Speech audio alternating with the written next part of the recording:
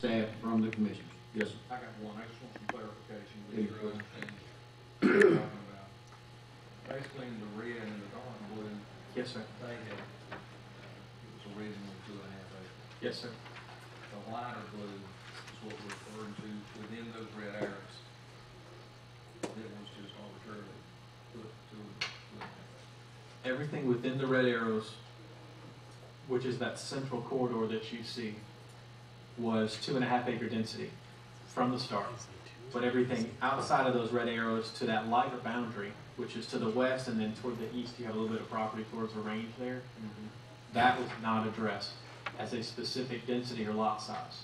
So we had to come back in within about six months and, and depict that lot size. And the original depiction was for two and a half acres. So it started at two and a half, we expanded that. And what this amendment does is it takes that outer area potentially brings it back down to one acre. Sir, I've got the projector back, so I'll, I'll show you what I'm, everything inside these red arrows here, two and a half acres originally. Everything outside was not addressed. And within six months, the, com- the commission's initial position on these areas outside the red arrows were for two and a half acres, which is what you get in the next map, is basically where they, they just made it consistent throughout all three zones. And that's where it sits today. Some of the concerns are brought up with that rezoning. This is one avenue of potentially addressing those. Chairman. Did- Yes. Um, Mr. Davenport, Sir.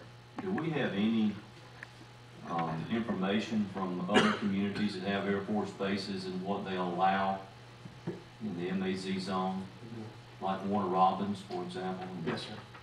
Um, not at this time. I know most other communities do not, I don't think I've met or heard of a single community that goes as far as we do to give it its own zoning district. Most other communities address it through an overlay of existing districts.